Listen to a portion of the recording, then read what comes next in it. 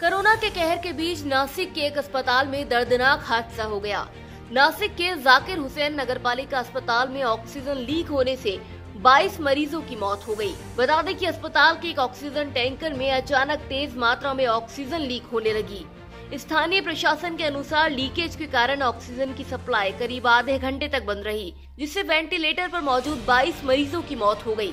घटना के वक्त अस्पताल में 171 मरीज़ भर्ती थे ऑक्सीजन लीक होने के बाद मरीजों की हालत बिगड़ने लगी, जिसके बाद उन्हें तुरंत दूसरे अस्पतालों में शिफ्ट किया गया।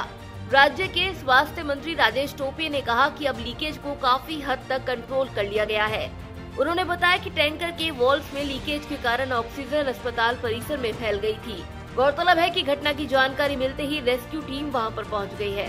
कोरोना संक्रमण के कारण देश पहले ही ऑक्सीजन के संकट से गुजर रहा है। प्रतिदिन कई कोरोना मरीजों की मौत ऑक्सीजन न मिलने के कारण हो रही है। ऐसे में इस तरह ऑक्सीजन का लीक होना बेहद गंभीर है। Bureau report V D TV Bharat.